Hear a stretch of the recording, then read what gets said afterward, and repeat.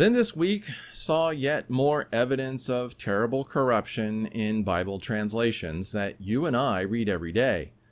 This new culprit is the New American Standard Bible. Jennifer left a comment in last week's post that said this, quote, and a couple more a couple more verses in the NASB that caught the attention. Joshua 24:15 Quote, If it is disagreeable in your sight to serve the Lord, choose for yourselves today whom you will serve, whether the gods which your fathers served, which were beyond the river, or the gods of the Amorites in whose land you are living. But as for me and my house, we will serve the Lord. Close quote. And Jennifer continues, that's the 1995 NASB. The newer translation inserts Euphrates in front of the river. That's even worse. Quote, continuing on, I don't like that they changed evil to disagreeable. Disagreeable sounds polite in comparison. Call it what it is. Another one that bugged me more is 1 Kings 19:12. And it says, After the earthquake, a fire, but the Lord was not in the fire. And after the fire, a sound of a gentle blowing. A sound of a gentle blowing? No, a still small voice. That smacks of deliberate mistranslation. So frustrating and anger inducing. Close quote.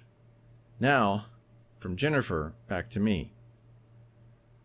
I looked up both verses, and the New American Standard Bible has deeply corrupted both verses.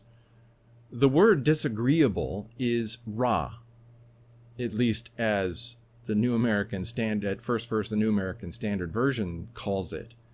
And it literally means evil, not disagreeable. Evil.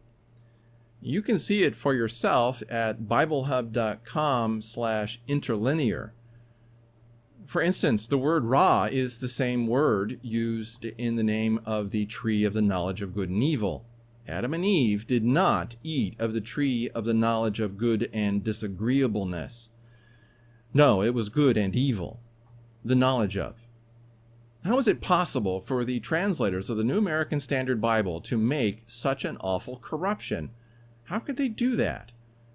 Then I looked up Jennifer's reference to 1 Kings 19:12, the second verse that she referred to.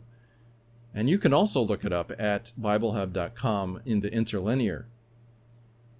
When the New American Standard Bible says a sound of a gentle blowing, the Hebrew is kol dameme deka.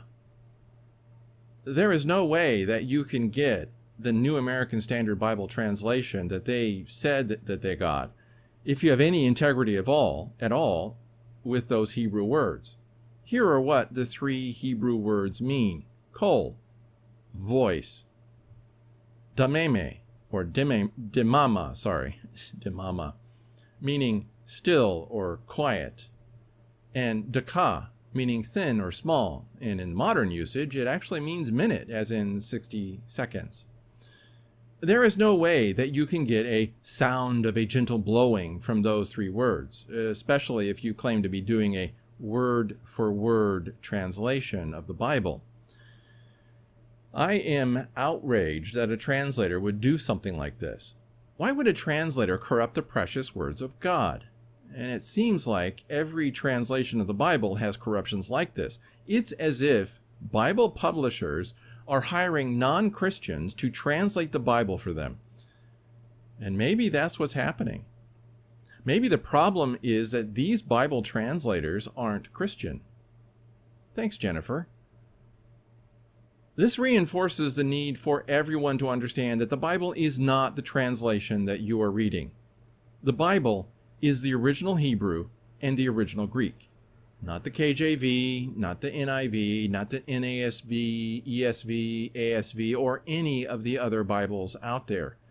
And no, it's not the Septuagint either. That's a translation too. The fact that we have depended upon corrupt translators to tell us what God has told us is horrifying. Why have we tolerated such abomination? That's it for this Shockcast. Again, hit like, click subscribe, and whack that little bell.